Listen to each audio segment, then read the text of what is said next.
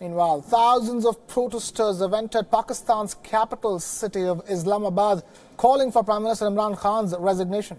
The march is being led by a fierce critic and hardliner Islamist leader Maulana Fazlur Rahman of the Jamiat Ulema-e-Islam Fazl Party.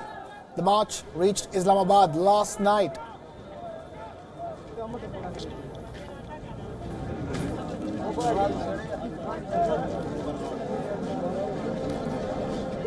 Shipping containers have been placed in key areas to avoid any breach by the protesters. Approximately 30,000 people have marched towards Islamabad for a showdown with the Imran Khan government. Significantly, the march is also supported by other prominent opposition parties such as the Pakistan People's Party PPP and the Pakistan Muslim League Nawaz PMLN. Some reports suggest that the PMLN's Shehbaz Sharif has assured full cooperation to JUIF Chief Fazlur Rahman. Over 21,000 security personnel have been deployed across Islamabad alone for this Azadi March. Mobile internet services have been suspended in those areas. A worried Imran Khan has said that uh, the government will not create any hurdles in the march as long as participants follow the law, but he has warned of strict action if the agreement signed with his negotiation team is violated. The Pakistani government has kept the army on standby. The Imran Khan government has expressed concerns that some participants of the JUIF are carrying prohibited arms, a claim disputed by the protesters. Meanwhile, addressing the marchers in Lahore, Fazlur Rahman said that Pakistanis from Karachi to Islamabad were in agreement that Imran Khan should resign. But most of the Pakistani media has been forced to black out the march and the coverage of the protest has been limited.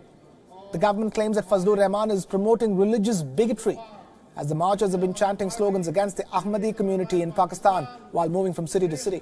Also, the JUIF has banned its women party members from participating in the Azadi March. WION's Pakistan Bureau Chief Anas Malik now joins us live from Islamabad with the latest on the. Anas, talk to us. Uh, we've seen protesters over there camped out with all basic necessities ever since they reached Islamabad. What is the situation right now? Well, it looks like, Krishna, that the protesters from JUIF or from the joint opposition that is mainly dominated by the Jamiatul Islam Fazlur Rahman group are all up with all uh, their preparations that they're here to be in Islamabad for at least a month. They have camps, they have uh, sleeping bags, they have uh, dry fruits, they have uh, they have uh, uh, vegetables, they have gas cylinders, they have makeshift stoves, they have everything that they need to stay.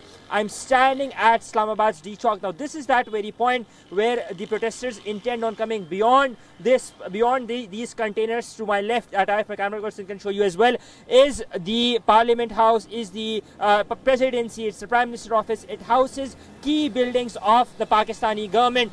But uh, uh, uh, as we speak, there is no decision of, on whether the protesters would be coming in or not.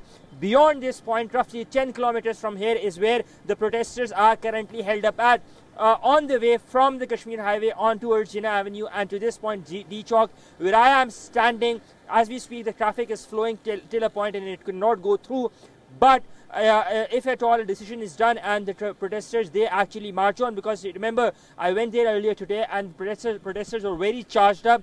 They want to come here at the D Chowk in fact they want to go beyond and take control of the Prime Minister's office quote unquote. That is what their intention is. They're saying that they will not bow down anything on anything lesser than the Pakistani Prime Minister's resignation and that is the whole sole intent. In a while from now the uh, leader of this march, Jamiat uh, Ulma Islam uh, Fazlur Rahman Group's uh, leader, Maulana Fazlur Rahman, will be addressing the will be addressing the march, and all eyes on that particular address. What will be the way forward? Because uh, as we speak in my six years of journalism in my i've covered at least six or five, five of such sit-ins two of those that were done by the pti in 2014 2016 that uh, which were done by the pakistan awami tehreek in 2013 14 and 16 as well but i've never seen so many protesters gathering up at one point. This is 40,000 plus people who are charged up, who are on a one point agenda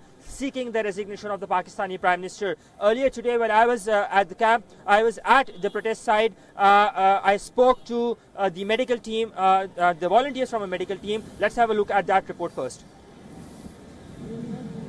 I'm standing in uh, the protest venue of the Azadi March by Jamiatul Ulama the opposition Azadi March, and there's something really interesting. There's an, a medical camp which is relatively very organized, a free medical camp. You can see there there's a queue of uh, protesters that are lining up for their quintessentials for the day. Uh, those who need medicines, those who need eye drops as well. Let's have a word with the doctors over here, with those who are providing medical facilities, and uh, uh, let's have a word with them, with them and try to understand. آپ لوگ نے یہاں medical camp لگایا ہے یہاں پہ کس کس طرح کی فیسلٹیز اویلیبل ہیں؟ ہمارے ساتھ الحمدللہ انرجیسک اور اینٹی بایوٹک اور اینٹی ایسڈ جتنے بھی دوائیں ہیں، وہ سارے ہمارے ساتھ موجود ہیں۔